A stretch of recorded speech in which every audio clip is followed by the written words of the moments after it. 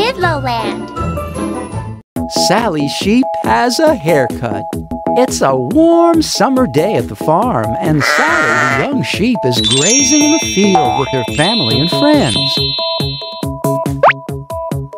Shep the sheepdog runs excitedly into the field ahead of Farmer Flynn. Hey, good news! You guys are getting sheared today.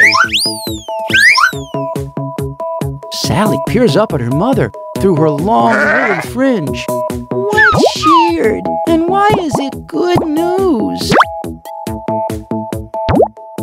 Shearing is when we get a haircut, Sally's mother explains. It's good news because our woolly coats are getting too hot. It's summer now. Sally thinks for a moment. She is a little warm, but she has become fond of flicking her fluffy fleece and scratching her thick coat against the old fence. I'm not going, Sally stamps her hoofs and runs away to hide. She watches as Shep guides the sheep into the shearing shed, one by one.